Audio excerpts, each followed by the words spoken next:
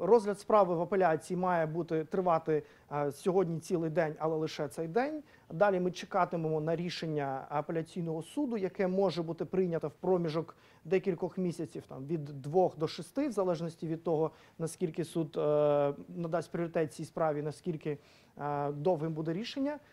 Після цього ем, сторона, яка програє, а ми впевнені, що це будуть е, ці так звані кримські музеї, мають право подати касацію в Верховний суд е, Нідерландів, який є остаточною інстанцією. І за запевненням наших юристів, процедура розгляду е, в Верховному суді є швидшою, тому що обсяг. Е, Справи є меншим, тому що е, переглядаються лише питання права, на які посилається сторона, яка оскаржує, і весь сумі процес може тривати до року, включно з винесенням рішення.